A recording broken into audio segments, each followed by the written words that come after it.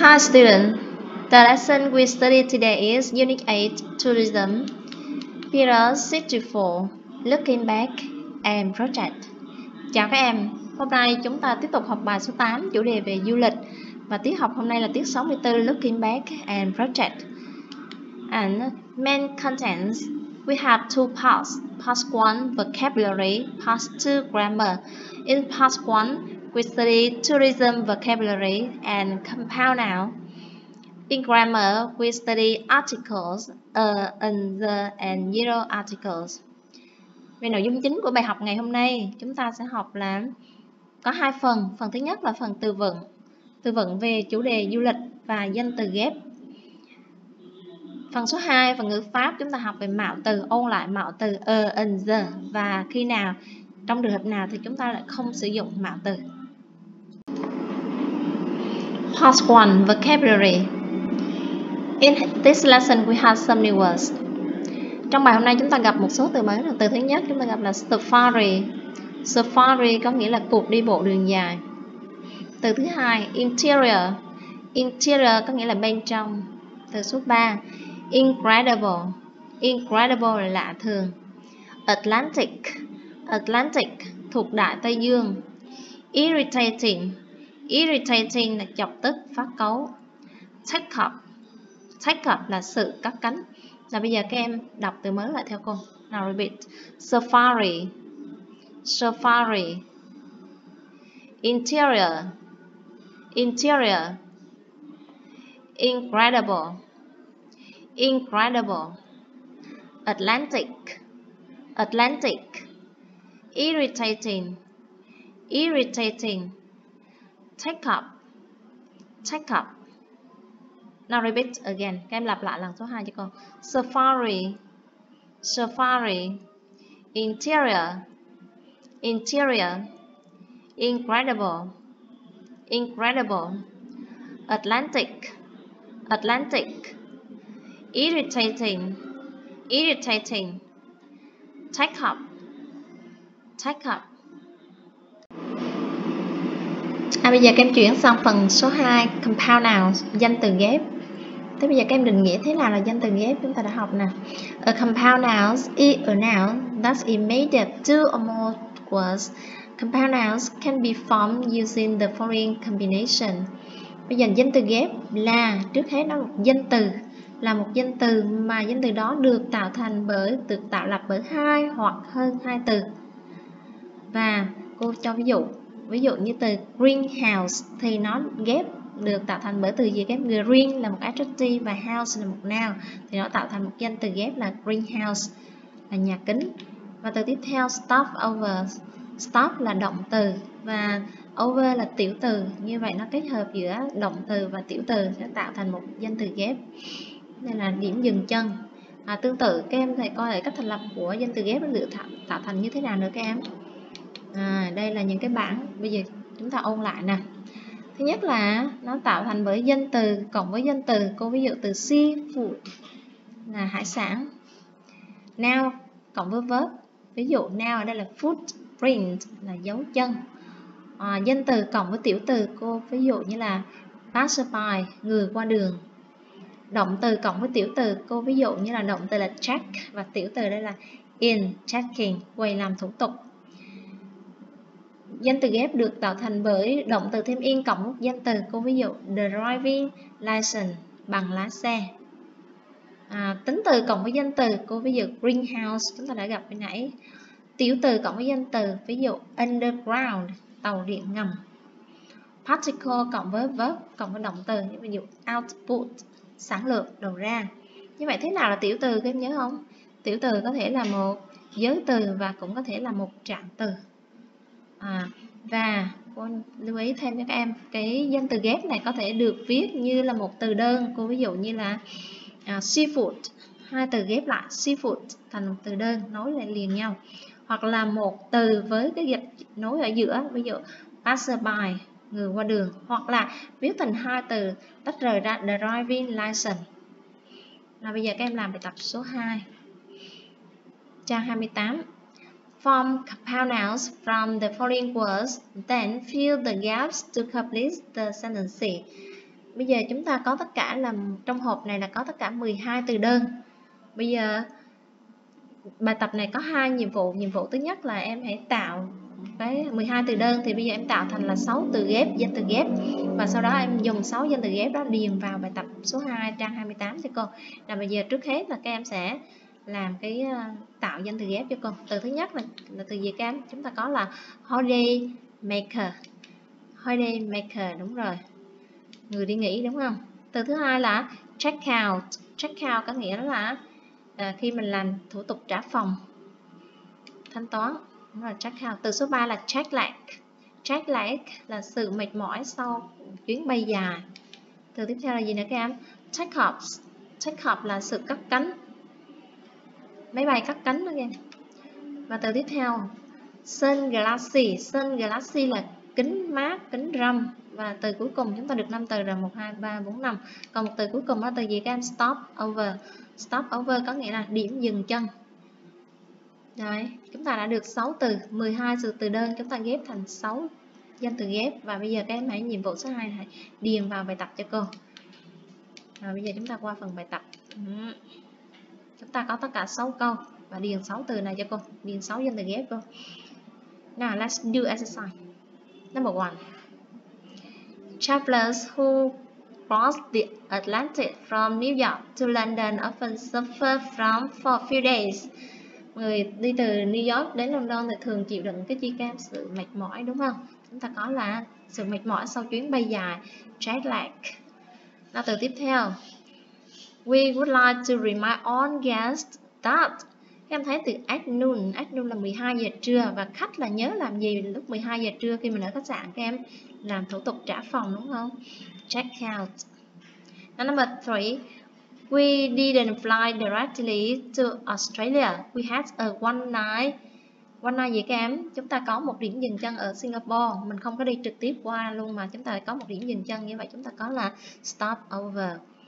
Now number four. It's e irritating that some movie stars were there even in just, À, thật là khó chịu.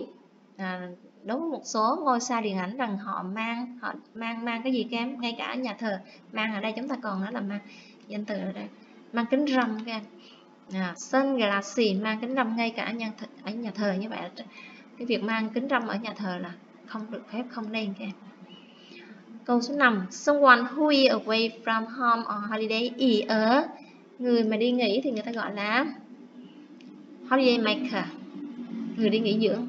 Và từ số 6 Because of the bad weather, Bởi vì thời tiết xấu, There were no airport. Các em thấy từ airport thì các em nghĩ ngay đến là máy bay cắt cánh, đúng không các em? Như vậy vì thời tiết xấu cho nên là không có chuyến bay nào được cắt cánh từ sân bay sáng nay. Như vậy là các em vừa ôn xong một số cụm một số danh từ ghép Now let's move on to exercise 3, page 28. Form compound nouns from the words, then make sentences with them and share with a partner. Bài tập này chúng ta có hai yêu cầu. Yêu cầu thứ nhất là từ 10 từ đơn này các em tạo thành 5 từ ghép, 5 danh từ ghép và sau đó các em thành lập câu với những danh từ ghép đó. Cô có từ thứ nhất ví dụ chúng ta có từ gì các em tour operator. Từ thứ nhất chúng ta có từ là tour operator. À, ví dụ nè if there is any problems you should contact your tour operator. Nếu mà có bất cứ vấn đề gì thì bạn nên à, liên lạc với công ty du lịch của bạn tour du lịch của bạn. Tiếp theo người điều hành công ty du lịch của bạn. Nào từ số 2 sẽ là gì các em return return ticket chúng ta có return ticket có nghĩa là vé khứ hồi. Cho cô ví dụ nè.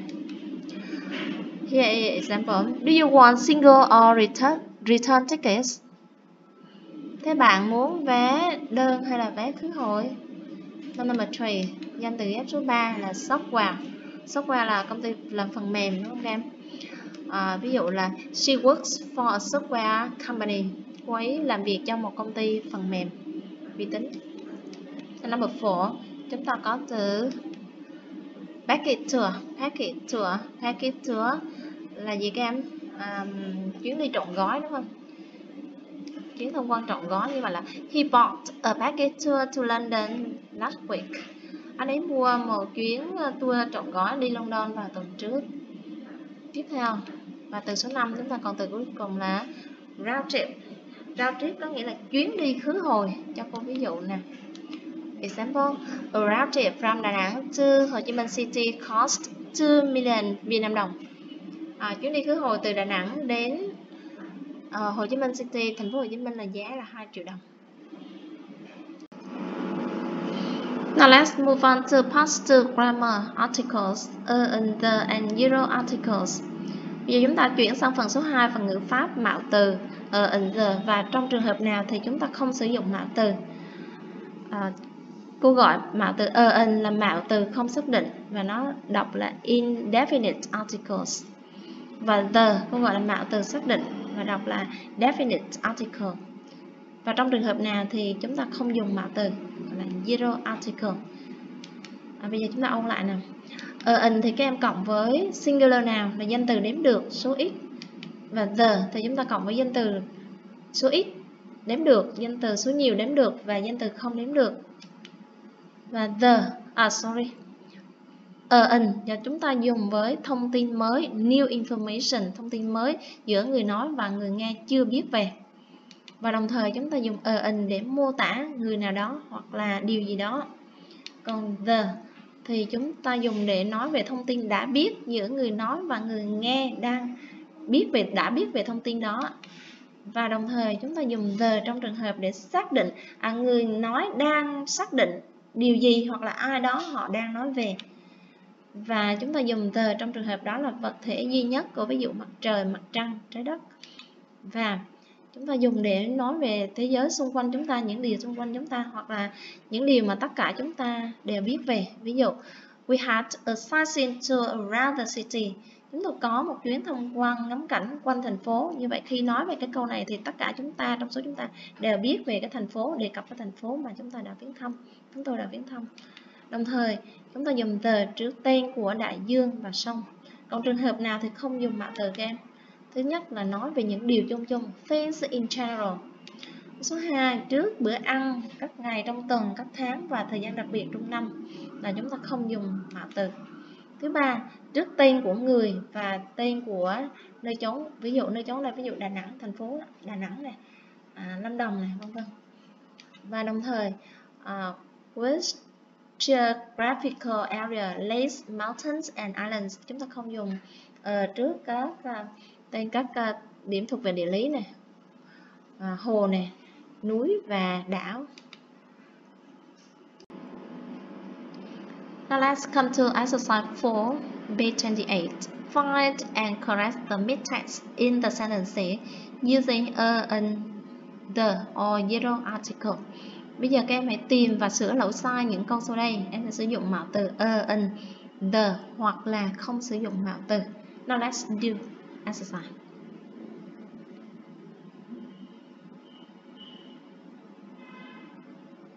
Are you ready? Number one. Câu số 1. My aunt and uncle love son. They stay in UK in summer and visit friends in Australia in winter. Câu số 1 các em thấy xuất hiện là hai hai lỗi. Thứ nhất là sun và UK. Sun trước hết nó là, đáp án của mình sẽ là the sun, các em, và the UK vì sao vậy bởi vì sun là vật thể duy nhất, cho nên chúng ta phải dùng the và UK trước một số quốc gia chúng ta phải dùng mạo từ trong cái chú ý là các em the UK uh, à, the United Kingdom the USA the Philippines and the Netherlands là chúng ta dùng mạo từ the. Câu số 2 not much is known about how brain works. Câu số 2 chúng ta bị lỗi chỗ brain. Chỗ này các em phải dùng là the brains work. Vì sao? Phải có the chỗ này các em the friend bởi vì đây là giữa người nói và người nghe là đang đề cập đến một bộ phận cơ thể con người. À, đang đề cập đến nhắc đến một bộ phận trên cơ thể con người cho nên là xác định là the friend đó câu số 3 Bicycle is among the most efficient machines invented by man. À, xe đạp là là máy móc phương tiện hữu hiệu nhất được phát minh ra bởi con người. Như vậy chỗ này là các em thấy là bị lỗi là bicycle. Các em sẽ sửa lại là the bicycle. Vì sao vậy? Bởi vì là là vì sao các em phương tiện à, xe đạp ở đây là đại diện cho một loại phương tiện trong số nhiều phương tiện nhiều máy móc khác nhau. À nó là đại diện cho nên nó là the bicycle. Câu số 4 they plan to launch an expedition into interiors of Australia như vậy chỗ này chúng ta bị hai lỗi là, là expedition và interior. Chỗ này là các em phải dùng mạo từ là an an, an expedition hoặc là the expedition à, từ số 2 các em là các em thấy là the interior. Như vậy đó là nội trong nước Úc. Như vậy cái này là đang xác định cái gì đó các em? Là giữa người nói và người nghe đang hiểu rằng người ta đang nói đến lãnh thổ của nước Úc lãnh thổ bên trong của nước Úc đúng không lãnh thổ nước Úc như vậy chỗ này là xác định the à, the các em sẽ đọc là the bởi vì đây là nguyên âm và câu số 5 If you want to go on long trip, you should prepare properly for it. Như vậy chỗ này là các em thấy là trip này bị lỗi em ạ. Trip một chuyến du lịch là danh từ đếm được nó ở số ít như vậy chúng ta dùng là a long trip. Và câu số 6 I'm very interested in the history, especially histories of Asian countries. Câu số 6 các em thấy lỗi chỗ nào?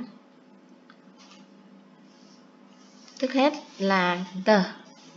Giờ thứ nhất chúng ta bỏ đi, bởi vì đây là thông tin chung chung. Tôi rất là thích lịch sử, tôi rất là mê lịch sử, như vậy đây là thông tin chung chung. Nhưng mà đặc biệt đây là lịch sử của các nước châu Á. Như vậy là các em thấy cái chỗ này chúng ta sửa lại. Thứ nhất là bỏ the trong vế thứ nhất và vế số 2 các em phải thêm bằng từ the vào. Bởi vì đây là đặc biệt là lịch sử các nước châu Á. Như vậy là giữa người nói và người nghe đang đề cập đến lịch sử của nước châu Á. Như vậy phải có the như vậy chúng ta đã xong bài tập số 4. Now let's come to exercise 5, page 28. Rewrite a sentence so that it has a similar meaning using the words in capitals. Giờ các em hãy chuyển sang bài tập số 5 trang 28. Viết lại một câu sao cho nó có nghĩa giống nhau, giống với nghĩa ban đầu và các em hãy sử dụng cái từ in hoa phía sau cùng. Bây giờ chúng ta có câu số 1. The Chinese were terrible cuộc hành trình thì rất là tồi tệ bây giờ các em dùng what để viết lại câu chúng ta bình thường các em thấy chữ what là nó xuất hiện trong câu hỏi ngoài ra trong tình huống này thì chúng ta dùng what đó là câu nghi vấn à sorry là câu cảm thán các em.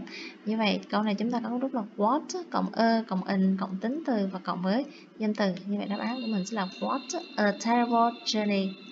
Chữ equals này có cũng được không có cũng được. Now number two, our tales was lovely Esquire by the sea. Khách sạn của chúng tôi ở thì rất là xinh đẹp, đáng yêu. Nó ở cạnh biển. Như vậy bây giờ em dùng động từ stay đấy để viết lại câu. Vậy câu này sẽ là We stayed at a lovely hotel by the sea. Chúng tôi ở lại ở một cái khách sạn rất là xinh đẹp cạnh biển. number three is I watched an interesting program on TV yesterday. Tôi xem một chương trình rất là thú vị trên TV tối hôm qua. Bây giờ em dùng the, mạo từ the để viết lại. Như vậy câu này sẽ là cái chương trình mà tôi xem tối hôm qua thì rất là thú vị. Như vậy là the program I watched yesterday was interesting. Number four the guitar my friend has just bought EO cái cây đàn mà bạn tôi đã mua vừa mới mua thì rất là cũ bây giờ dùng in để viết lại. Vậy là my friend has just bought an old guitar. Now number five, she needs to travel to Kyoto on business trip. Bây giờ câu này chúng ta dùng trip để viết lại. She needs to go on a business trip to Kyoto. Now homework. Learn by heart the new words, compound nouns. Các em về nhà học thuộc từ mới, những danh từ ghép. Revise article, a and the, zero article. Các em ôn lại những mạo từ cách cách sử dụng của mạo từ a and the và trường hợp không sử dụng mạo từ. Do exercise 1, page 28, làm bài tập số 1, trang 28. Be ready for Unit 8, Unit 9, Getting Started. Các em soạn cho cô bài số 9, Getting Started. Như vậy, chúng ta có hai tiết. Tiết 60, 65 là các em ôn bài 7, bài 8 và tiết 66 là kiểm tra một tiết. Như vậy chúng ta sẽ dời hai tiết đó về sau cái tiết đầu tiên. Chúng ta kiểm tra vào cái tiết cuối của tuần đầu tiên đi học lại sau thời gian nghỉ Covid. Ví dụ cái tuần đầu tiên đi học lại là các em có tiết chúng ta có 3 tiết. Thì cái tiết cuối đó là các em gặp thứ sáu hay thứ bảy cái tiết cuối cùng của tuần đó thì các em có một bài kiểm tra một tiết à, và một tiết ôn tập ôn rồi mới kiểm tra các em ạ.